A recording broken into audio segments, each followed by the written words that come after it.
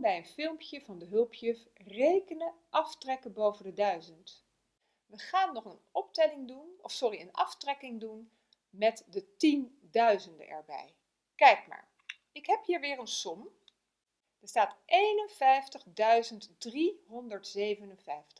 en ik trek daar af 32.443. Zie je dat? De puntjes staan er nu netjes bij. 7 min 3, niet zo moeilijk hè? Dat is 4, precies. En 5 min 4, dat is 1. We hoeven nog niet te lenen. Maar nu komen we in de, kolom van de honderdtallen. 3 min 4. Dat kan niet hè? Dus ik moet weer aankloppen bij mijn buurman. Buurman, mag ik er tientje lenen? Natuurlijk. Dus het wordt 13 min 4. En dat is 9. Nu ga ik weer een kolom verder, naar de duizendtallen. Die 1, dat is een 0 geworden.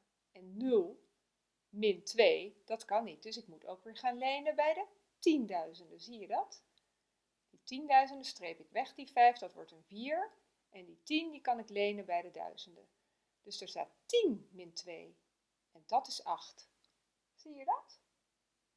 Dan kom ik in de kolom van de tienduizenden en daar staat 4 min 3 en dat is 1.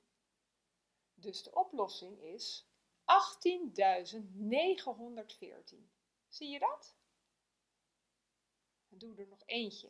Dan gaat er nog één stapje verder met de honderdduizenden. Let op. Nog een kolommetje verder. Een deel van de som is hetzelfde. Kijk maar. 7 min 3, dat is 4. 5 min 4, dat is 1. 3 min 4 kon niet, dus hebben we geleend. Weet je nog? 13 min 4, dat is 9. Gaan we weer een kolommetje naar de duizenden. 1, dat werd een 0.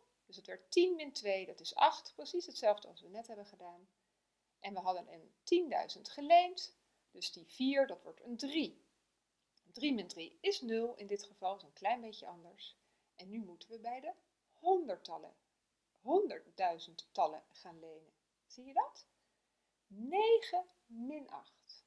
Want we hebben niet geleend bij die tienduizenden, dus die 9 die staat er nog steeds. 9 min 8 is 1. Dus hier is de uitkomst 108.914.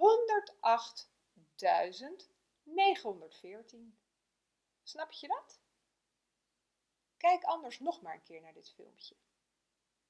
Dit was het filmpje Aftrekken boven de 1000. Succes!